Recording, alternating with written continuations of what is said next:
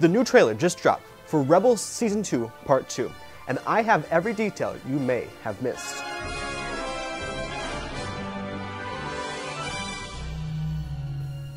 Opening shot. This is a Sith temple. From the star pattern on the ceiling, we recognize its similarities to Jedi Temple where Ezra received his Kyber crystal.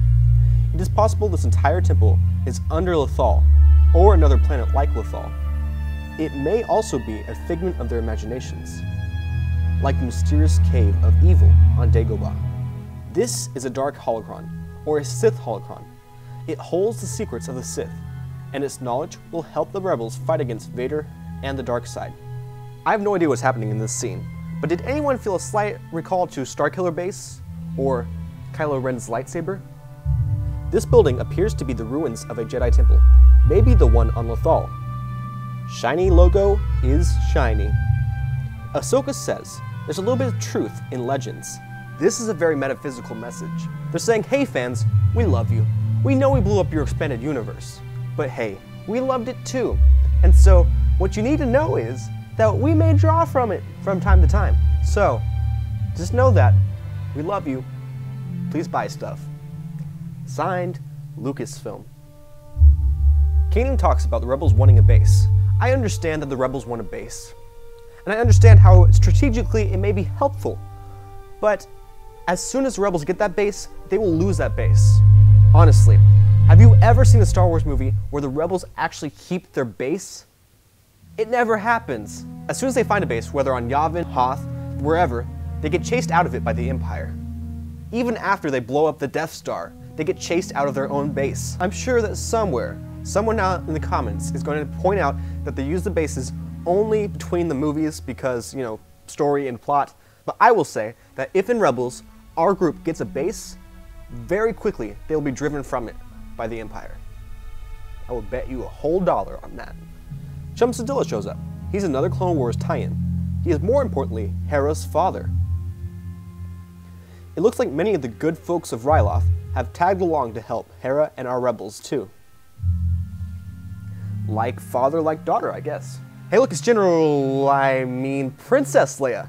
What you may not know is that at this time, she will be cooperating with the Imperials while secretly undermining their operations. Whales in space. Hey look, they're doing a synchronized skydive. You may not have seen that Kanan is wearing a painted helmet. This, combined with the fact that there are space whales, leads me to believe that they are in fact diving into a gas planet. You may, like me, have seen the scene a couple of times, but only on repeat viewing do we see there's actually an entire other Inquisitor standing on the left of the fifth brother and seventh sister. A secret Jedi Order battles against the Inquisitors. What? A secret Jedi Order battles against the Inquisitors? Okay, so these Jedi's seen here are actually called Sentinels. They're a group of quiet Jedi who balanced force and technical skills. They're often found throughout the Jedi Temple, but few people knew of their existence.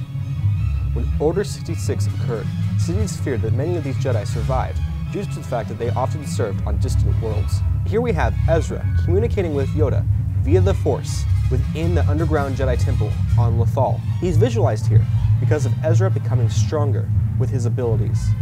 And the area of the temple is strong with the Force. In the excitement of this scene, it's easy to miss that Kanan has jumped on the ship of a Mandalorian leader. He looks very similar to Pre Vizsla, the leader of Death Watch.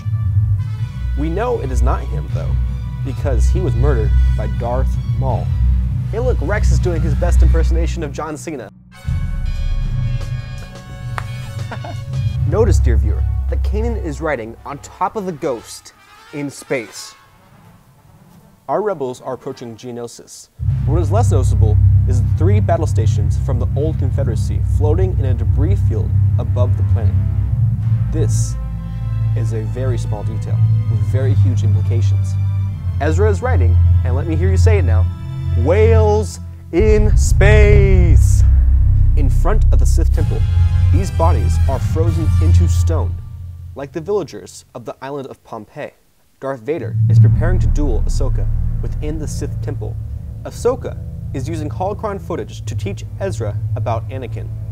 The Empire, the Inquisitors, and Darth Vader Find the underground Jedi Temple on Lothal.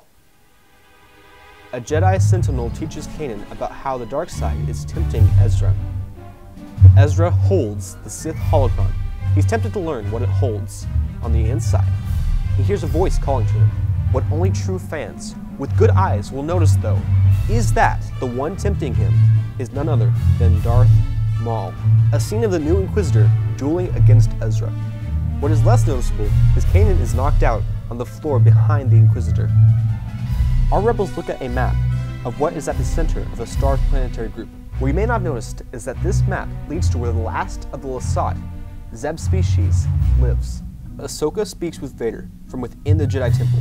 She now knows he has become Darth Vader. Kanan prepares to fight a Jedi Sentinel. What is less apparent and can only be seen up close is that he is in fact holding a red lightsaber. The question is, where did he get that? Ezra discovers a cross-guard lightsaber, similar to Kylo Ren's in The Force Awakens. Although the lightsaber is new to us, it is something that was supposedly an ancient design in the Star Wars universe. Ahsoka and Vader finally have their duel. And while it may look like Vader may win, keen-eyed viewers will notice that Ahsoka shows no fear. Thank you so much for watching this video. This was a very fast introduction to everything featured in the trailer. If you'd like to learn more about some of the finer details of the things featured here, then tell me in the comments what you'd like to see. And shout out to Wookieepedia for giving me some of the finer details of this episode. Until next time, may the Force be with you. Thank you.